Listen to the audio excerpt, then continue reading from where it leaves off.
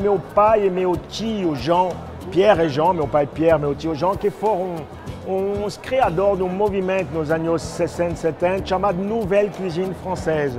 Essa Nouvelle Cuisine Française mudou não só a culinária tradicional francesa, mas mudou a culinária mundial com um espírito mais criativo, com um espírito de valorizar o pequeno produtor. E isso é exatamente o que a gente está fazendo hoje Uh, no Brasil está muito na moda essa coisa do pequeno produtor, da criatividade, do chefe pela frente.